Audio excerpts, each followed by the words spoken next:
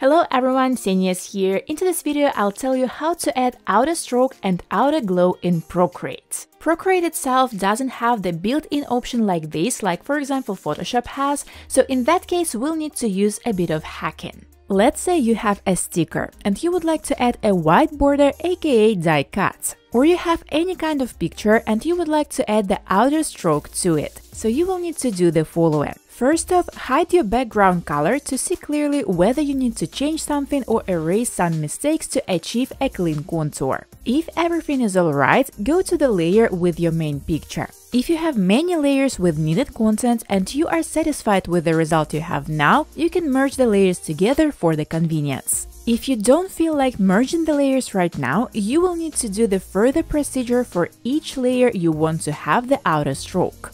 Go to the Layers panel and tap on the layer with the content. Into the menu choose Select. That will select only the content that this layer has. You'll see the moving lines if everything is alright, and the selection panel will pop up on the bottom. Now with the selection on, go again to the Layers panel and create a new layer. Put it underneath your main layer with the content.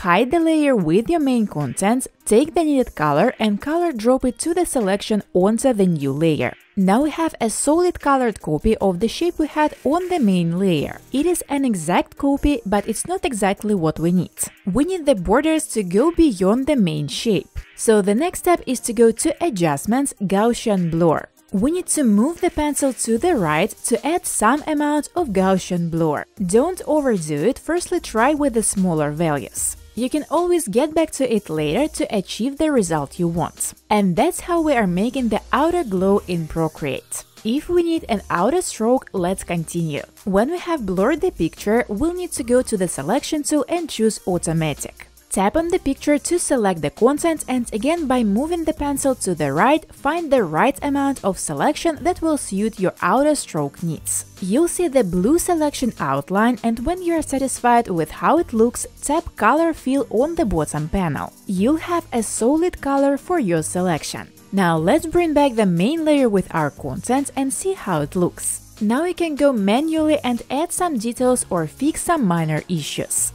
And that's it, that easy, you can add the outline and use it for your stickers or any other illustrations. Hope this tutorial was helpful and if you're interested in fastening up your working process, check out my other videos about Procreate. See ya!